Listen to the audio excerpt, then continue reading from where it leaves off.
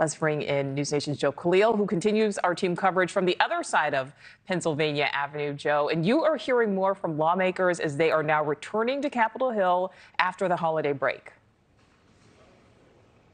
Yeah, and this week, Nichole, is crucial for President Biden here on Capitol Hill. Uh, fair to say that this is going to be the week when the rubber meets the road. We've already heard from a number of lawmakers privately who say they think it's time for President Biden to step aside and let someone else take his spot at the top of the ticket to have the best chance against former President Trump.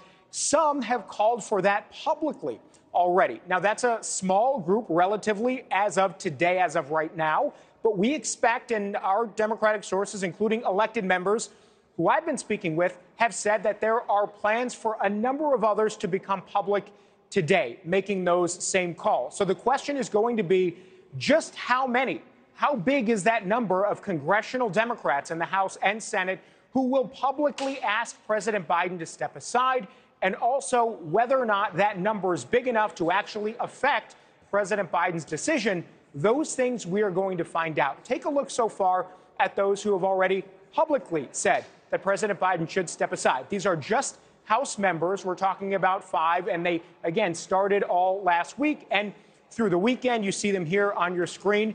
And then there are a couple of others now who privately, on a call with Democratic leaders, these four here said they also feel that way, but they've not said so publicly just yet.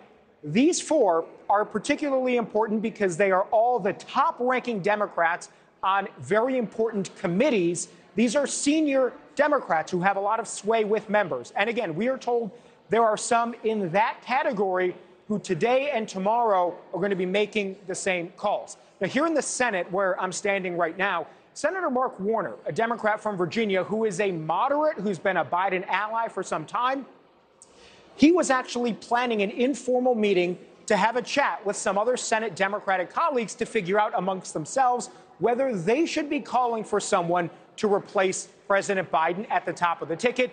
That meeting, we are told and have confirmed, was canceled because news of it leaked, which made Senator Warner unhappy. So they're not doing a meeting today, but Senate Democrats will be meeting all together tomorrow, as will House Democrats. And at those meetings, we expect a lot of this is going to be hashed out. Needless to say, this is crunch time. And we're going to see again how big that chorus is of elected Democrats who call on President Biden to step down, as we've been reporting all week. And it is again true today.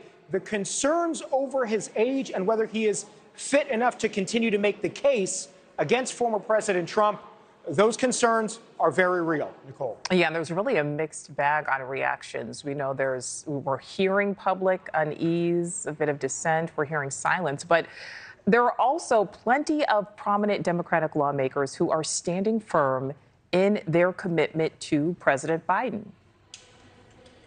Yeah, there are. And the ones who've come out and opposed President Biden, that, those are going to catch the headlines for sure there are some influential Democrats and groups of Democrats who say they're going to stand by him. One just today, the chairman of the Congressional Black Caucus, Congressman Steven Horsford, put out a statement today uh, saying that he's going to be behind President Biden 100%. Saying here, quote, I'm going to read part of his statement. President Biden is the nominee. He's been selected by millions of voters across the country, including those here in Nevada, Horsford's home state. He goes on to say they know President Biden and Vice President Harris are fighting for them. The Congressional Black Caucus is a very influential bloc here in, uh, in the House side of the Democratic Party. So that certainly is a big endorsement for President Biden. But again, as the day progresses, today and tomorrow, we're going to see how many others stay in that camp and how many come out publicly and say he needs to go.